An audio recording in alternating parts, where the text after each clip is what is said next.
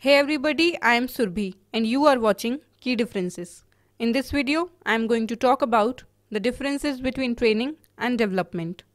So friends, what are we waiting for? Let's get started.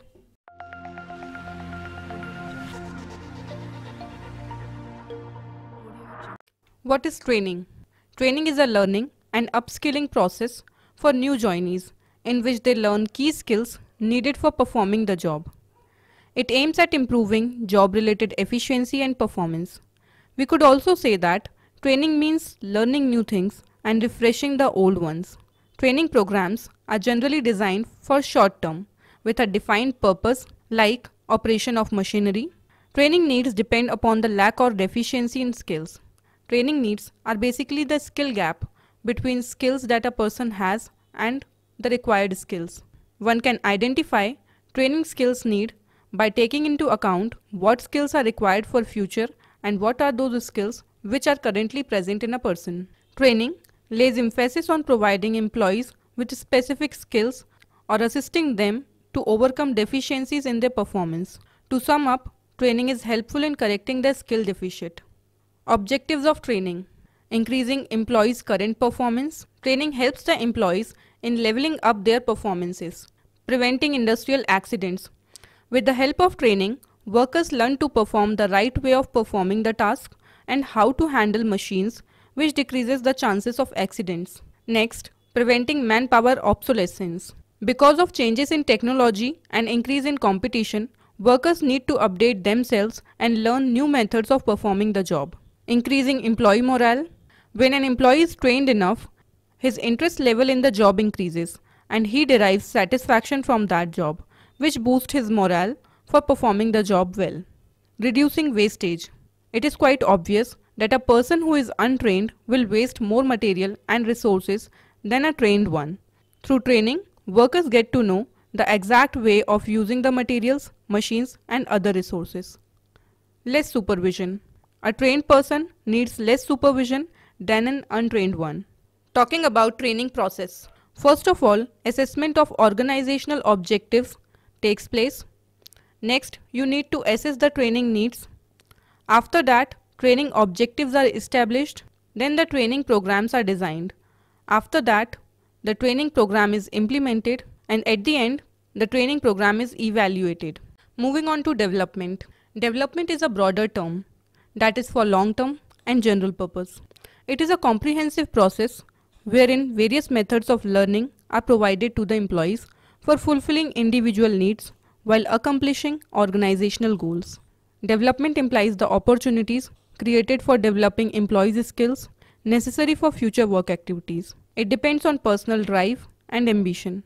It seeks to meet future needs and challenges and aims at overall personal effectiveness, including job efficiencies. Further, development includes not only those activities that improve job performance, but it also includes those activities that bring about growth in a person's personality.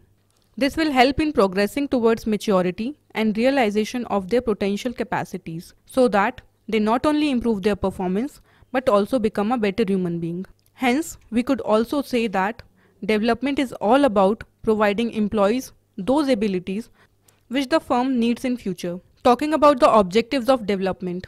Sustaining good performance. Sustaining good performance of managers over the course of their career while improving their existing performance. Next, encouraging managers for increasing their capacity to handle higher level responsibility, training and development of managers for meeting the technological and social change, ensuring a ready pool of qualified people at different levels for meeting the needs of the organization, preparing junior managers for future replacements, preventing managerial obsolescence by integrating new concepts.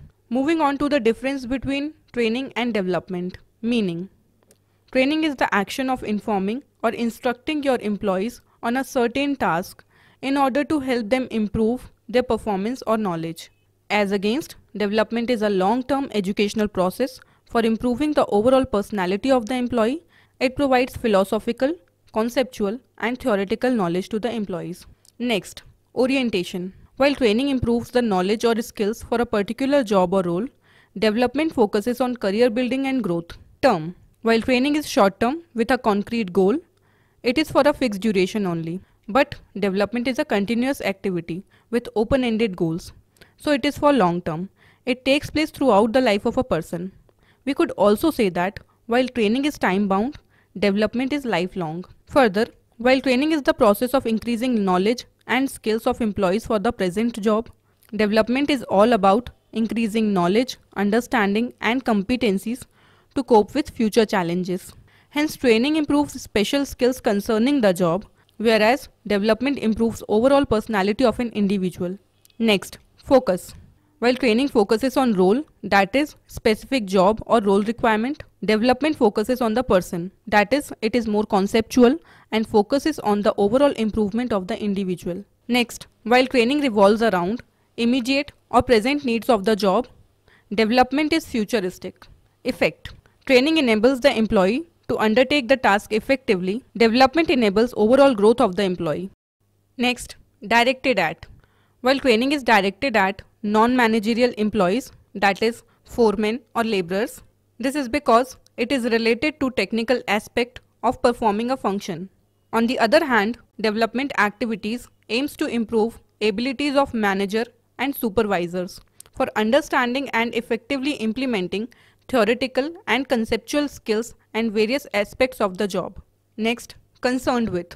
While training programs are concerned with group needs, where many individual participants participate in the organized group events like seminars, workshops, etc. In contrast, development activities are more personalized as they focus on individual needs and development plans. Next, responsibility. While the company takes the responsibility of employees training, development is a self-assessment process in which the employees are held responsible for creating as well as owning their development plans and activities. We could also say that the management motivates the employees to undergo training. On the contrary, employees are self-motivated. They take initiative for joining the development programs.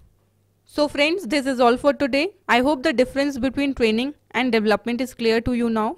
However, if you want to study the topic further in detail, you can visit our official website that is keydifferences.com. Here you can find a detailed comparison of training and development along with their definitions, Links are also provided in the description box below.